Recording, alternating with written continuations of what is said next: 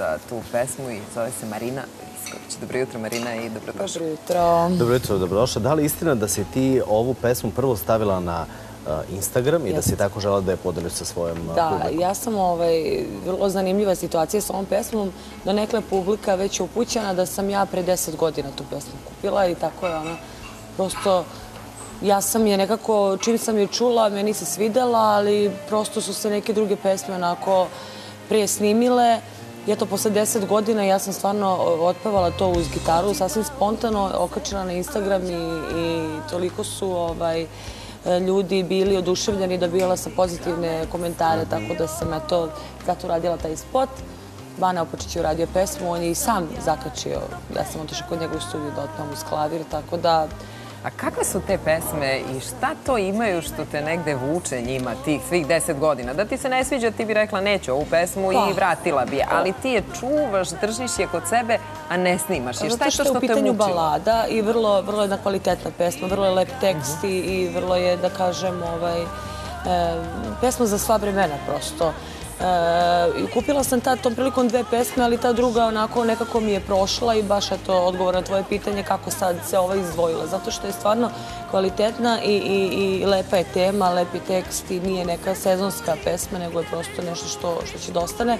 I mislim da o, prosto je i mojoj publici nekako ovaj, e, falila ovako jedna balada lepa od mene. Da, ali... Koji je to moment kada ti proceniš, e, to, to je sad, sad mi treba ta balada? Pa ne, nikada ja nešto nisam procenila, ja u principu sam se pogrešno radila, da nisam nikada pratila tre- trendove, da sad ovaj, proceni da mi treba br brža ili sporija pesma, ako ćemo tako, trebala bi sad bržu pred ovu godinu da ispatim.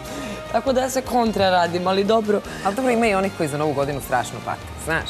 I onda... Pa dobro, eto, sad će da pate uz I onda, I onda će moći da se u ovome pronađu. Sad će da E, kažu da, e, da je spot, e, barem e, tako, tako pišu novine, da je ovo jedan od tvojih najboljih, ako ne možda najbolji spot u karijeri. Ovaj, spot je najbolji zato što su stvarno vrhunski, da kažem, umetnici radili taj spot. Mhm. E, Često ističem, evo, zahvalila bi opet Darko Kostiću koji je stvarno ovaj, mi je dosta pomogao da, da to onako izgleda kako izgleda i, i stvarno smo naporno radili, marljivo danima smo planirali i, i spot i kostime.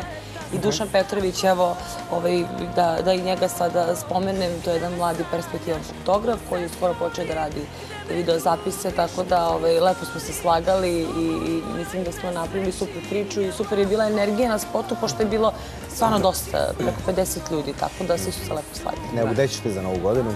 Za novu godinu pevam u Kasini, tako da sam jako srećna ove, što sam u Beogradu posle par godina. Ja sam onako kad sam počinjala po karijeru započela u beogradskim klubovima i splavovima, tako da eto opet nova godina u Beogradu i baš se radujem. Da, i to će biti lepo, da, da možeš i ti da se Evo provedeš. imam baš prove s bendom svaki dan, pošto sam isto to malo korigovala, stvarno hoću da napravim baš dobru sviru. Da. Na nastupima pevaš i svoje i Pevam, da, neke tuđe pesme. Tuđe, jel? Pa da, i tuđe. Šta najviše voliš? Pa iskreno vam kažem, ovaj, ja volim najviše pevam pop i rock pesme. I jako sam srećna što će mi ova godina nova taj doček eh, sam po sebi obezbediti da malo tu proširim svoj repertoar.